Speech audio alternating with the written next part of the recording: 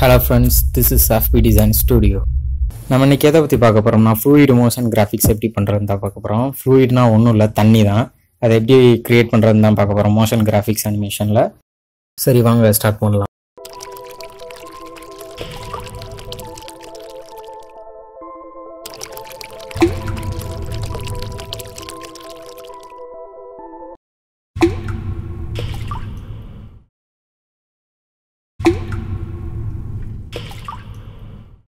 எப்பவும் போல் ஒரு new competition open பண்ணிக்கிறேங்க. அது நேம் வச்சுக்கிறேங்க லிக்விடுன்னு ஒரு டென் செகண்ட்ஸ் போதும்.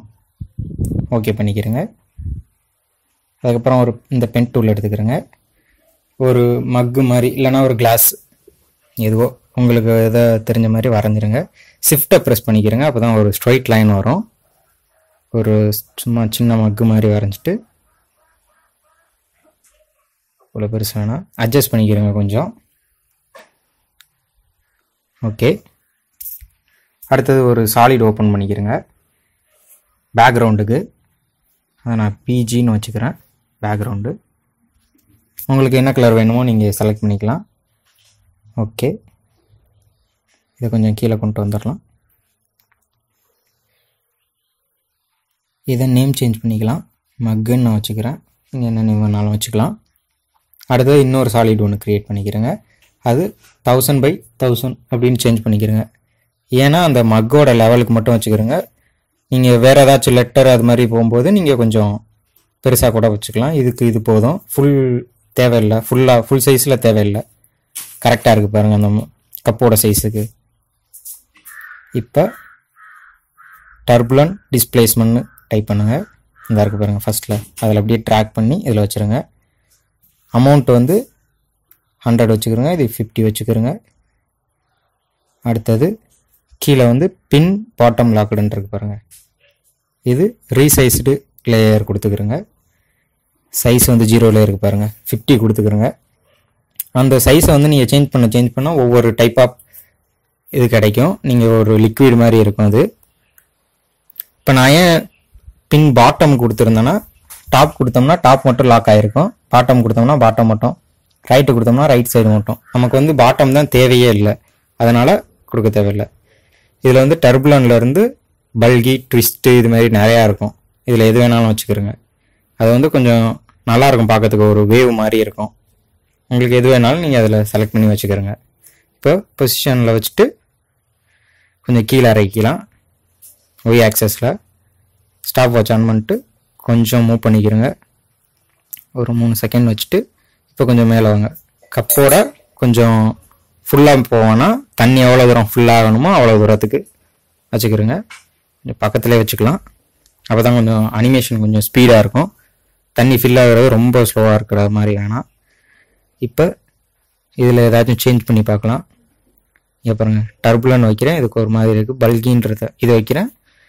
வேவ்ஸ் கொஞ்சம் வேறு மாதிரி இருக்குது இப்போ ஆல்ட்டு ப்ரெஸ் கிளிக் பண்ணுங்கள் அப்புறம் டைம் ஸ்டார் டூ ஹண்ட்ரட் இதையே நம்ம இந்த எக்ஸ்பிரஷன் கொடுக்குறோம்னா நமக்கு வேல்யூ சேஞ்ச் பண்ணிட்டே இருக்க தேவையில்லை. ஒரு அமௌண்ட்டில் ஒரு பத்து செகண்டாக பத்து செகண்டோட நின்றும் ஸ்டாப் வாட்ச் இதுன்றப்போ அனிமேஷன் நடந்துகிட்டே இருக்கும். அதனால தான் இப்போ சைஸை கொஞ்சம் சேஞ்ச் பண்ணி பார்க்கலாம்.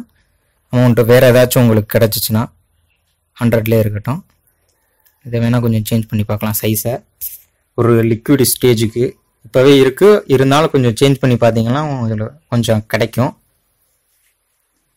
இப்போ நான் கொஞ்சம் சேஞ்ச் இன்க்ரீஸ் பண்ணி பார்க்கலாம்.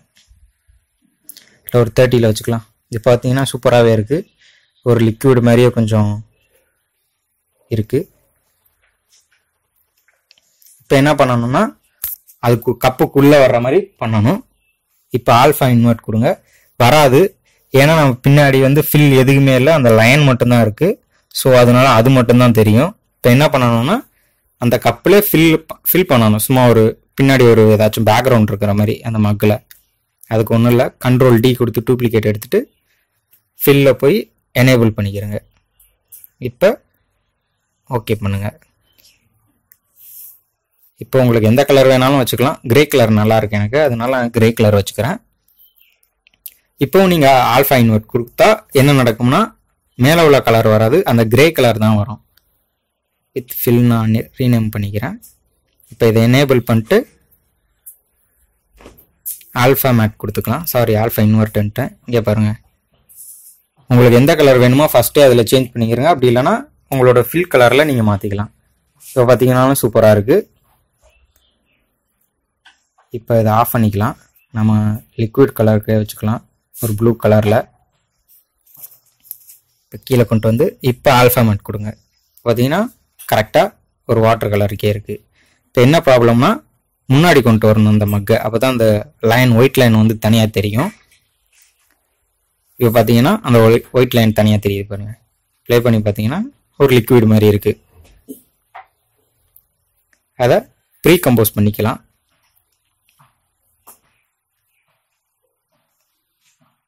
ஓகே அடுத்தது ஒரு சாலிட் ஒன்று க்ரியேட் பண்ணிக்கிறேங்க.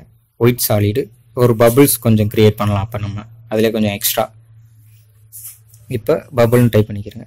இப்போ முதல்ல பண்ண அதே ப்ராப்ளம் பாருங்கள் தௌசண்ட் பை தௌசண்ட்லேயே வச்சுருந்தோம். பபுள் வச்சுக்கலாம். உங்களுக்கு இப்போ ஃபுல் சாலிட் வேணும்னா அதை ஃபஸ்ட்டே மாற்றுங்க நான் அப்புறம் சொல்கிறேன் இதில் நன் கொடுத்துட்டு பபுள் சைஸ் வந்து ஒரு ரெண்டு இருக்கட்டும். அமௌண்ட் ஒரு இர சைஸ்னு அமௌண்ட்டுனா என்னென்னு தெரியும் உங்களுக்கு. இரநூறு பபுள்ஸ் அது மாதிரி வரும். ஸ்பீடு வந்து கொஞ்சம் அஞ்சு வச்சுக்கலாம். இப்போ கொஞ்சம் ஸ்பீடு ஏற்ற ஏற்ற கொஞ்சம் ஸ்பீடாகவே தெரியும். இப்போ இதை என்ன பண்ணணும்னா அந்த பபுள்ஸ் வந்து அந்த வாட்டருக்குள்ளே வரணும். அதுக்கு எப்படி வரணும்னா அந்த ப்ளூ கலர் அந்த லிக்விட் இருக்கு பாருங்க வாட்டர் அதுக்குள்ள வரணும். அதுக்கு என்ன பண்ணலாம்னு நான் சொல்கிறேன் ஸ்டாப் வாட்ச் ஆன் பண்ணிவிட்டு கடைசியில் இங்கே ஜீரோ வச்சுக்கணும். ஸ்டாப் வாட்ச் ஆன் பண்ணிக்கிறேங்க. இப்போ கண்ட்ரோல் டி கொடுத்து ஃப்ளூயிடை வந்து இன்னொரு தடவை கண்ட்ரோல் டி கொடுத்துட்டு ஃப்ளூயிட் மேலே போட்டோம் இப்போ ஆல்ஃபாமேட் கொடுத்துருங்க. இப்போ பண்ணீங்கன்னா அந்த ஃப்ளூயிட் உங்களுக்கு அந்த பபிள்ஸ் வந்து உள்ளே கிடைக்கும். இப்போ பாருங்க. இதுலேயும் ஒரு ப்ராப்ளம் இருக்குது முடிகிறதுக்குலேயுமே அந்த பபிள்ஸ்லாம் முடிஞ்சிருது. அனிமேஷன் வர்றதுக்குலேயும் கிராஃப் எடிட்டர் ஆன் பண்ணிக்கலாம். யூவை ப்ரெஸ் பண்ணுங்கள் இப்போ பபுள் அமௌண்ட்டில் கிளிக் பண்ணிங்களா இங்கே வரும். நீங்கள் எஃப் நைன் ஆர் இங்கே வந்து இந்த கிராஃப் எடிட்டில் இதில் வச்சுக்கிறங்க. இப்போ ப்ளே பண்ணி பார்த்துருங்க இப்படி இந்த இதில் வச்சுக்கிறேங்க. இது வந்து பெண்ட் ஆகுறது வந்து கடைசியில் கீழே பெண்ட் ஆகுறது வந்து அமௌண்ட் முடிகிறது. ஸ்லோவாக முடியும். ஃபாஸ்ட்டாக ஸ்டார்ட் ஆகி. கடைசியில் முடியும் போது கம்மியான அமௌண்ட்டில் முடியும்.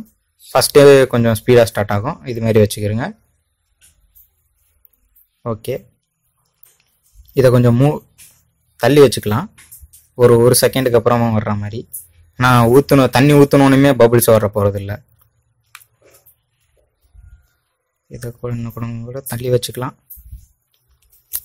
ஓகே அந்த மக்கன்னு ஒரு டூப்ளிகேட் எடுத்துக்கிறேங்க. நமக்கு வந்து கிளாஸில் அந்த கிளாஸில் வந்து ஒரு பேக்ரவுண்ட் ஏதாச்சும் வேணும்.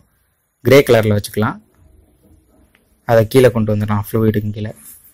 இப்போ பார்த்தீங்கன்னா ஒரு கிளாஸில் தண்ணி ஃபில் ஆகிற மாதிரி இருக்கும். ஓகேவா அடுத்தது நம்ம லெட்டரை பற்றி பார்க்கலாம். லெட்டர்ஸில் எப்படி ஃபில் பண்ணுறது அப்படின்னு.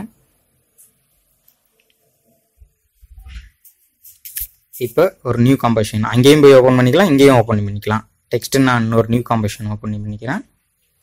இந்த டீன்ற இடத்துல கிளிக் பண்ணிட்டு உங்களுக்கு ஏதாச்சும் நான் லிக்விடுன்னு டைப் பண்ணிக்கிறேன். டைப் பண்ணிட்டு அலைன் பண்ணிக்கலாம். சைஸை கொஞ்சம் சின்ன பண்ணிட்டு அலைன் பண்ணிக்கலாம். இந்த இருக்கு பாருங்கள் அலைனு அது வரலன்னா உங்களுக்கு விண்டோஸில் போயிட்டு அலைன்ற ஆப்ஷன் எனேபிள் பண்ணிக்கிறேங்க. இது வந்து சென்டர் பண்ணிக்கிறோம் நம்ம. கொஞ்சம் மேலே ஏற்றிக்கலாம் உங்களுக்கு எந்த இடத்துல வேணுமோ அதில் வச்சுக்கலாம். நான் அலைன் எதுக்கு நான் சொன்னேன்னா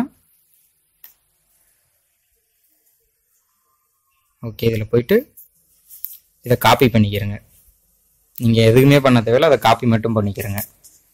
அந்த வாட்டரில் சாலிட் இருந்துச்சு பாருங்கள் அதை மட்டும் காப்பி பண்ணிட்டு இங்கே பேஸ்ட் பண்ணிடுங்க இப்போ அதே அனிமேஷன் வந்து இங்கே இருக்குது அந்த பொசிஷன் எல்லாமே அது. நமக்கு இதுக்கு ஏற்ற மாதிரி மாற்றணும் ஸோ இதனால் அதை டிசேபிள் பண்ணிக்கலாம் ஸ்டாப் வாட்சை ஆஃப் பண்ணிட்டு நம்ம தனியாக இந்த டெக்ஸ்ட்டுக்கு உள்ள மாதிரி பண்ணிக்கலாம். இப்போ கீழே கொண்டு வந்துட்டு அதே தான் கொஞ்சம் வேல்யூ சேஞ்ச் ஆகும் அவ்வளோதான் வேறு எதுவும் இல்லை. இப்போ ஒய் ஆக்சஸில் மேலே கொண்டு போகலாம் ஓகே இப்போ இன்னும் ரெண்டு கலர் ஆட் பண்ணலாம். இந்த கலர் அந்த ப்ளூ கலர் மட்டும் இல்லாமல் இன்னும் கொஞ்சம் கலர் கூட ஆட் பண்ணலாம். அதுக்கு கண்ட்ரோல் டி கொடுங்க. இப்போ ஒரு பிரச்சனை இருக்குது பாருங்கள் நம்ம ஆல்ஃபா இன்வெர்ட்டோட காப்பி பண்ணிட்டு வந்திருக்கோம். அதனால ஆட்டோமேட்டிக்காக ஆல்ஃபா இன்வெர்ட் ஆகுது. அது நன் கொடுத்துக்கலாம். நம்ம ஃபஸ்ட்டு எடுக்கும்போதே ஆல்ஃபா இன்வெர்ட் இல்லாமல் இருக்கணும். இப்போ இதில் போயிட்டு கலர் சேஞ்ச் பண்ணிக்கலாம். கண்ட்ரோல் ஷிஃப்ட் ஒய்யை ப்ரெஸ் பண்ணாலும் colour change solid colour change பண்ணுறது ஆப்ஷன் வரும். அடுத்தது இன்னும் டூப்ளிகேட் எடுத்துக்கலாம். இது என்ன பண்ணலான்னா கீழே கொண்டு வந்துட்டு இப்போ ஆஃப் பண்ணிட்டு இப்போ இதை மேலே கொண்டு போகலாம். இப்போ இன்னொரு டூப்ளிகேட் எடுத்தால் ஆல்ஃபா இன்வெர்ட் ஆகாது. ஆல்ஃபா மேட் ஆகாது சாரி இது மாதிரி இன்னும் கொஞ்சம் ஒரு நாலஞ்சு கலர் எவ்வளோ கலர் வேணுமோ உங்களுக்கு ஏற்ற மாதிரி அந்த கலரில் வச்சுக்கிறோங்க. கடைசியில் ஒயிட் கலரில் வச்சுக்கிறோங்க. இல்லை ஒயிட் கலர் வேணாம் உங்களுக்கு கடைசியில் எந்த எந்த கலர் என்ன வேணுமோ அந்த கலரில் வச்சுக்கிறோங்க. ஓகேவா பிளாக்கு அடுத்த கலர் நான் ஒரு ஒயிட் வச்சுக்கிறேன்.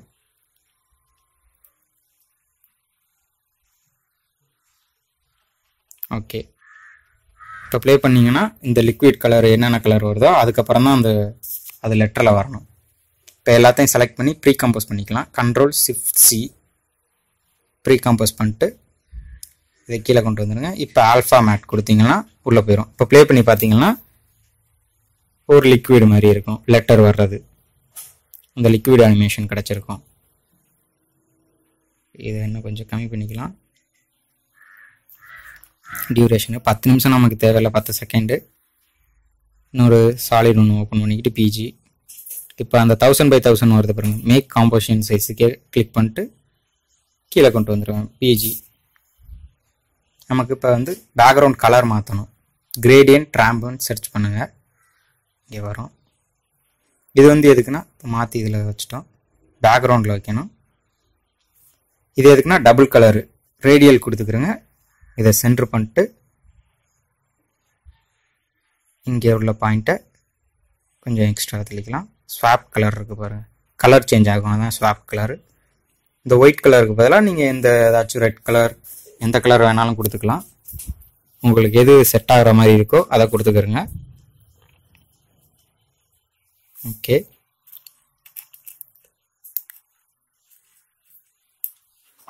கொஞ்சம் பிளாக் கலர் கலந்த மாதிரி. உங்களுக்கு எந்த கலர் கரெக்டாக இருக்கோ நீங்கள் கரெக்டாக வச்சுப்பாருங்க இப்போ இதில் நேம் சேஞ்ச் பண்ணுறதுனால என்ன நேம் வேணாலும் சேஞ்ச் பண்ணிக்கலாம். இது உங்களுக்கு ஆல்ரெடி தெரியும். புதுசாக வர்றவங்களுக்கு பிகினர்ஸுக்கு தெரியாதுன்னா அதில் டைப் பண்ணிக்கலாம். இப்போ ஸ்கேலை பெருசாக்கிட்டு இல்லைன்னா காம்போசிஷன் சைஸை பெருசாக்கிட்டு அது மாதிரி பண்ணும்போது நம்மளுக்கு அந்த எக்ஸ்ட்ரா கிடைக்கும். நமக்கு அந்த பபுள்ஸும் இப்போ தேவை. அப்படின்னா இதை காப்பி பண்ணிட்டு இப்போ பாருங்கள் ஆல்ஃபா மேட்டை எடுத்துட்டு அதுக்கப்புறமா இதே இது பண்ணணும். பபுள்ஸை பேஸ்ட் பண்ணிக்கலாம். அந்த லெட்டர்ஸ்க்குலையும் பபுள்ஸ் வரும்.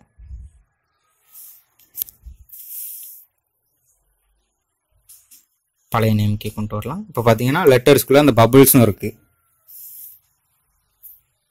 ஸோ இப்போ அப்ளை பண்ணிங்கன்னா பபுள்ஸ் ஃபஸ்ட்டு வருது.